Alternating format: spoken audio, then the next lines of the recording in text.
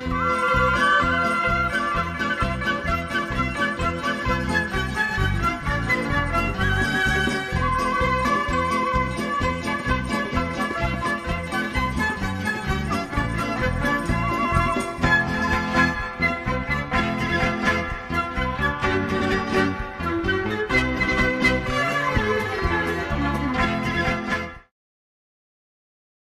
Những đêm đông, bên bếp lửa trong nhà dài giữa đại ngàn, tiếng kể khan của các già làng lúc thủ thỉ như lời tâm sự, lúc vút cao như đỉnh Chư Giang Xin, khi lại trầm hùng cuồn cuộn dữ dội như dòng Serepok.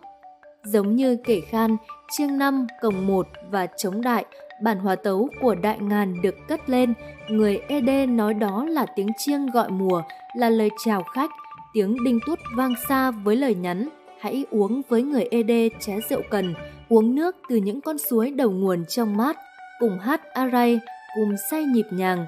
Phía sau những âm hưởng đó là hồn cốt của một dân tộc giữa đại ngàn Tây Nguyên đầy nắng và gió. Có mặt từ rất lâu đời ở Tây Nguyên, dân tộc Ede hiện có khoảng trên 300.000 người.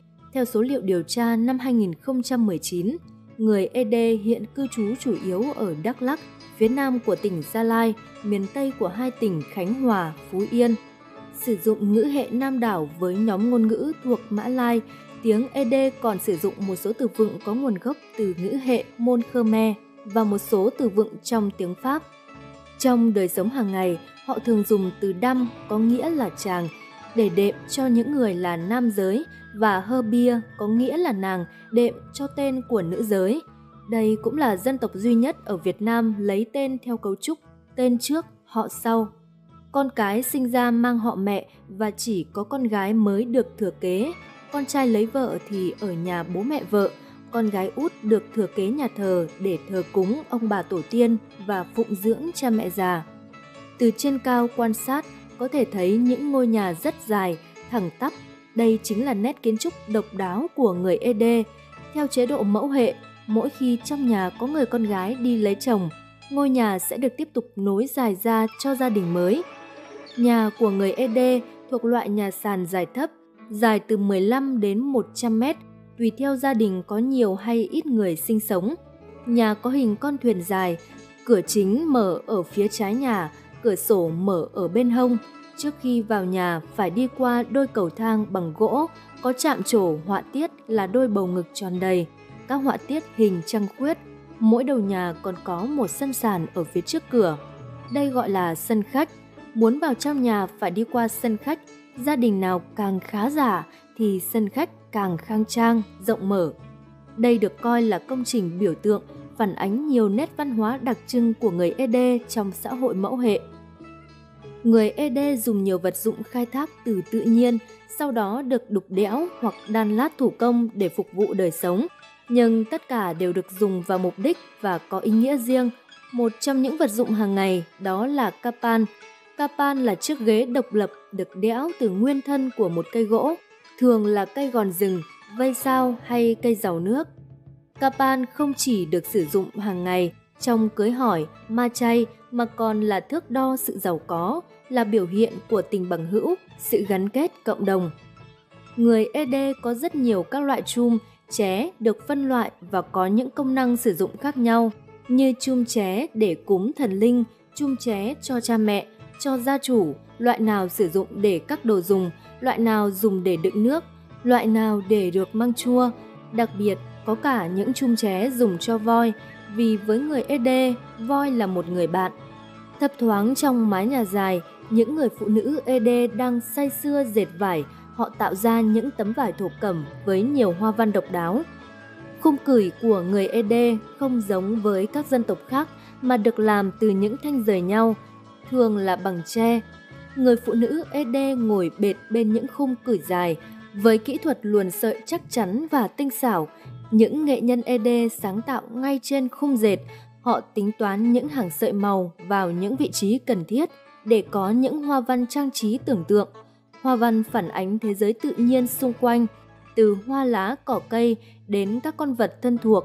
Sự độc đáo còn thể hiện ở cách phối màu để tạo thành các sợi chỉ màu khác nhau.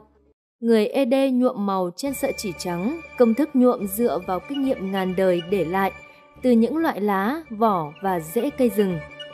Trang phục của người Ed chủ yếu là màu đen và đỏ. Tuy nhiên, chiếc váy của người Ed thể hiện ở năm màu cơ bản là màu đen, đỏ, vàng, xanh nước biển và xanh lá cây. Phụ nữ Ed mặc áo cánh ngắn kiểu chui đầu, cổ cao mở rộng về phía vai và có đơm thêm khuy để cài. Trước đây, đàn ông Ed thường để tóc dài, búi tóc ngay sau gáy, nay thay đổi để phù hợp với điều kiện sinh hoạt. Trang phục truyền thống của nam gồm áo và khố, có hai loại áo là áo dài trùm mông và áo dài quá gối.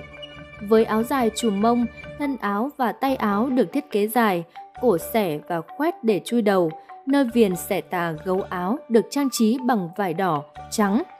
Giữa ngực áo có mảng sọc ngang trong bố cục hình chữ nhật tạo nên vẻ đẹp khỏe khoắn. Áo dài quá gối có cổ khoét, ống tay bình thường, không trang trí nhiều loại hoa văn, họa tiết. Cộng đồng người ED theo chế độ mẫu hệ nên người con gái có quyền rất lớn, chủ động đi hỏi và cưới chồng, còn việc thách cưới do nhà trai yêu cầu. Nếu để ý chàng trai nào, người con gái sẽ về nhà thưa chuyện với cha mẹ để nhờ người mai mối sang nhà chàng trai dạm hỏi. Lễ hỏi chồng của người phụ nữ ED có 4 lễ, lễ hỏi, lễ đưa vòng, lễ thỏa thuận thủ tục, gửi dâu, lễ rước rể, đón rể vào nhà. Sau lễ cưới, chàng trai phải về nhà vợ ở, con sinh ra phải theo họ mẹ. Lúc này, trưởng họ sẽ đại diện hai gia đình tuyên bố cuộc hôn nhân được chấp nhận theo luật tục. Rồi ông đưa chiếc vòng đồng cho đôi vợ chồng trẻ chạm tay vào để chúc phúc vợ chồng sống hạnh phúc trọn đời bên nhau.